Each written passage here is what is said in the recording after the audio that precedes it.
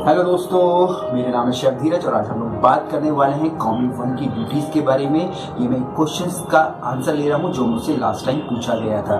कॉमी one अगर मैं एक शब्द में बोलना चाहूँ तो ये किसी भी टीम के ओपनिंग प्लेयर होते हैं। जी हाँ ओपनिंग प्लेयर होते हैं। और ओपनिंग प्लेयर की कीमत या उसका काम आप समझ सकते हैं क्या क्या हो सकता है। तो चलिए और जो भी मेरी इस वीडियो में पहली बार है, जो भी दर्शक तो प्लीज़ चैनल को सब्सक्राइब कर लेना। मैं होटल से रिलेटेड वीडियोस बनाता हूँ। और अगर आपके कुछ भी क्वेश्चंस हैं तो मुझे कमेंट में ज़रूर लिखिएगा। मैं उनका आंसर देने की पूरी कोशिश करूँगा।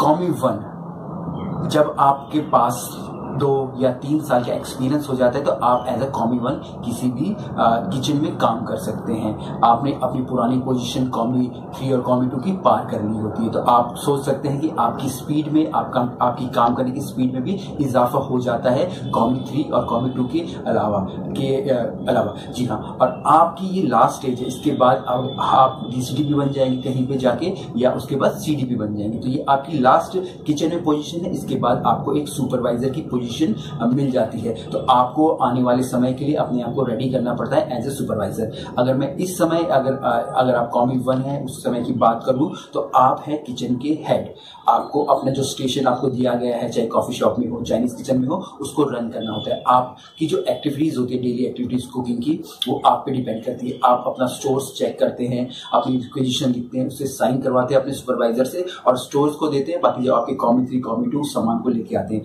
आप मेन कुकिंग करते हैं कुकिंग में जो इन्वॉल्वमेंट होता है, आपका ही सबसे ज़्यादा होता है कॉमी वन का।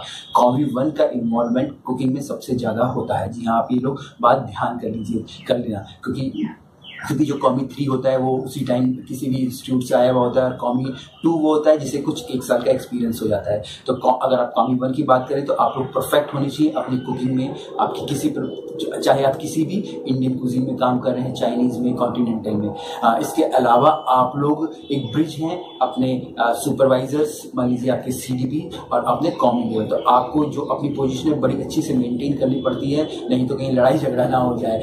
आप अपने डिपार्टमेंट का ड्यूटी रोस्टर्स भी सजेस्ट करते हैं अपने सुपरवाइजर को कि किसकी ड्यूटी कहाँ लगानी है और अपने जो किचन ऑपरेशन को अच्छे से रन करना है। इसके बाद जो आपको आपके एच से आपके एग्जीक्यूटिव शेफ से जो रेसिपीज़ मिली होती है, आप चेक करते हैं कि आपके कॉमिंग आप खुद और आपके commis commis three commis two उसको अच्छे से फॉलो कर रहे हैं या नहीं कर रहे हैं ये सब आपके अंडर आता है। इसके अलावा आपको जो एरिया दिया गया है आप उसके उसकी हाइजीन के लिए आप रिस्पॉन्सिबल हैं। आपके वहाँ पे किस प्रकार से चॉपिंग बोर्ड यूज़ हो रहे हैं आपके कॉमीज कॉमी थ्री या ट्रेनिंग जो आपके पास आ रहे हैं आप किस तरीके से वो काम कर रहे हैं वो सब आपकी रिस्पॉन्सिबिलिटी है। इसके अलावा आपके डिपार्टमेंट में जो भी काम करने वाले कॉमी थ्री कॉमी टू हैं उनकी हाइजीन उनकी ग्रूमिंग भी आपके ऊपर ही है। आपको उनको चेक करना है क्योंकि आप एक मिसाल है खुद में कि कि एक कॉमी वन, क्योंकि उन्हें कॉमी थ्री और कॉमी टू को कॉमी वन बनना है, वो आगे नहीं बढ़ सकते हैं इस